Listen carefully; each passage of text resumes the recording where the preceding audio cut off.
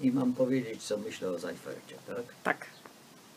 No to myślę, że to był jeden z naszych największych jazzmenów i to w zasadzie wszystko do tego się sprowadza, bo co to znaczy być najlepszym jazzmenem? No oczywiście poza wszystkimi technicznymi sprawami, poza inwencją i tak dalej jest to jakaś jeszcze, jeśli jest osobowość, no to już jest bardzo wysoko, a Zbyszek jest jedną z tych postaci, do których ja ciągle wracam, ponieważ to w dalszym ciągu jest muzyka wspaniała, aktualna, nie tracąca niczego. No do tego trzeba było chyba jakichś ogromnych talentów, żeby coś takiego w owych czasach zrobić i to jest tyle. No nie pozwolę nikomu na Zbyszka powiedzieć jednego złego słowa.